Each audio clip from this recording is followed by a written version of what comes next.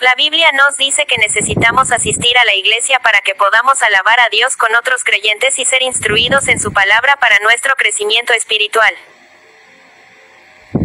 La iglesia primitiva, y perseveraba en la doctrina de los apóstoles, en la comunión unos con otros, en el partimiento del pan y en las oraciones, Hechos 2.42 de la mañana. 42 y perseveraban en la doctrina de los apóstoles, en la comunión unos con otros, en el partimiento del pan y en las oraciones.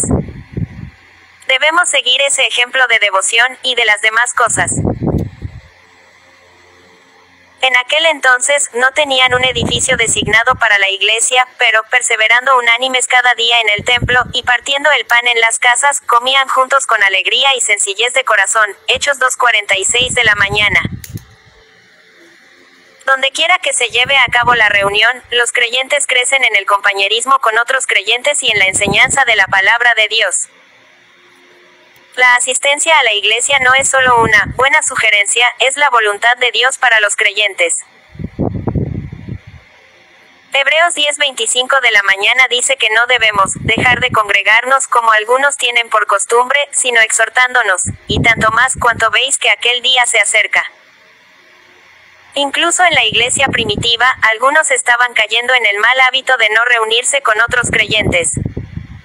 El autor de Hebreos dice que ese no es el camino a seguir. Necesitamos la fortaleza que nos brinda el asistir a la iglesia. Y la llegada del fin de los tiempos nos debe impulsar a ser aún más dedicados en ir a la iglesia.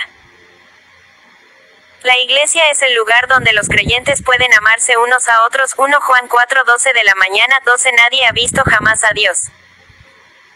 Si nos amamos unos a otros, Dios permanece en nosotros, y su amor se ha perfeccionado en nosotros. Exhortarse unos a otros, Hebreos 3:13 de la mañana 13 antes exhortaos los unos a los otros cada día, entre tanto que se dice, hoy, para que ninguno de vosotros se endurezca por el engaño del pecado. Considerándonos unos a otros para estimularnos al amor y a las buenas obras. Hebreos 10:24 de la mañana 24 y considerémonos unos a otros para estimularnos al amor y a las buenas obras. 25 No dejando de congregarnos como algunos tienen por costumbre, sino exhortándonos, y tanto más cuanto veis que aquel día se acerca. Servirse unos a otros Gálatas 5:13 de la mañana 13 porque vosotros, hermanos, a libertad fuisteis llamados solamente que no uséis la libertad como ocasión para la carne, sino servíos por amor los unos a los otros. Instruirse unos a otros Romanos 3:14 de la tarde 14 Pero estoy seguro de vosotros, hermanos míos, de que vosotros mismos estáis llenos de bondad, llenos de todo conocimiento, de tal manera que podéis amonestaros los unos a los otros. Honrarse unos a otros Romanos 12:10 del día 10 Amaos los unos a los otros con amor fraternal, en cuanto a honra, prefiriéndoos los unos a los otros. Ser bondadosos y misericordiosos unos con otros Efesios 4:32 de la mañana. 32 Antes sed benignos unos con otros, misericordiosos, perdonándoos unos a otros, como Dios también os perdonó a vosotros en Cristo. Cuando una persona confía en Jesucristo para salvación, es hecha un miembro del cuerpo de Cristo 1 Corintios 12 27 del día. 27 Vosotros, pues, sois el cuerpo de Cristo, y miembros cada uno en particular. Para que el cuerpo de la iglesia funcione apropiadamente, todas las partes del cuerpo necesitan estar presentes y funcionando 1 Corintios 12 14 del día menos 20. 14 Además, el cuerpo no es un solo miembro, sino muchos. 15 Si dijere el pie, porque no soy mano, no soy del cuerpo, por eso no será del cuerpo. 16 Y si dijere la oreja, porque no soy ojo, no soy del cuerpo, por eso no será del cuerpo. 17 Si todo el cuerpo fuese ojo, ¿dónde estaría el oído? Si todo fuese oído, ¿dónde estaría el olfato? 18 más ahora Dios ha colocado los miembros cada uno de ellos en el cuerpo como él quiso. 19 Porque si todos fueran un solo miembro, ¿dónde estaría el cuerpo? 20 Pero ahora son muchos los miembros, pero el cuerpo es uno solo. No es suficiente asistir a una iglesia, debemos estar involucrados en algún tipo de ministerio que ayude a otros, usando los dones espirituales que Dios nos ha dado, Efesios 4:11 de la mañana menos 13.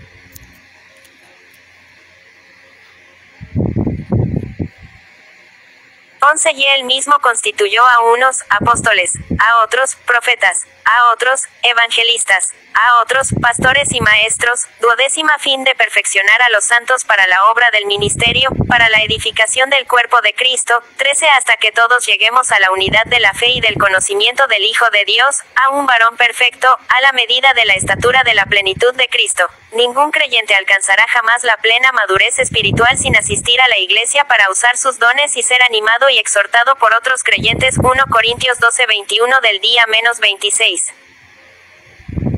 21 Ni el ojo puede decir a la mano, no te necesito, ni tampoco la cabeza a los pies, no tengo necesidad de vosotros. 22 Antes bien los miembros del cuerpo que parecen más débiles, son los más necesarios. 23 Y a aquellos del cuerpo que nos parecen menos dignos, a estos vestimos más dignamente. Y los que en nosotros son menos decorosos, se tratan con más decoro. 24 Porque los que en nosotros son más decorosos, no tienen necesidad. Pero Dios ordenó el cuerpo, dando más abundante honor al que le faltaba. 25 Para que no haya desavenencia en el cuerpo, sino que los miembros todos se preocupen los unos por los otros. 26 De manera que si un miembro padece, todos los miembros se duelen con él, y si un miembro recibe honra, todos los miembros con él se gozan. Por estas y otras razones, la asistencia a la iglesia, la participación y el compañerismo deben ser actividades regulares en la vida de todo creyente. No es obligatoria la asistencia semanal de los creyentes a la iglesia, pero alguien que ha confiado en Cristo debería tener el deseo de adorar a Dios, ser instruido en su palabra y tener compañerismo con otros creyentes. Jesús es la piedra angular de la iglesia 1 Pedro 2 en 6. 6 por lo cual también contiene la escritura, He aquí, pongo en Sion la principal piedra del ángulo, escogida, preciosa, y el que creyere en él, no será avergonzado. 7 Para vosotros, pues, los que creéis, él es precioso. Pero para los que no creen, la piedra que los edificadores desecharon, ha venido a ser la cabeza del ángulo. 8 y piedra de tropiezo y roca que hace caer, porque tropiezan en la palabra, siendo desobedientes, a lo cual fueron también destinados. Y nosotros somos, piedras vivas, sed edificados como casa espiritual y sacerdocio santo, para ofrecer sacrificios espirituales aceptables a Dios por medio de Jesucristo. 1 Pedro 2 en 5. 5 Vosotros también, como piedras vivas, sed edificados como casa espiritual y sacerdocio santo, para ofrecer sacrificios espirituales aceptables a Dios por medio de Jesucristo. Como materiales de construcción de la casa espiritual de Dios, tenemos naturalmente una conexión entre nosotros, y esa conexión es evidente cada vez que la iglesia va a la iglesia.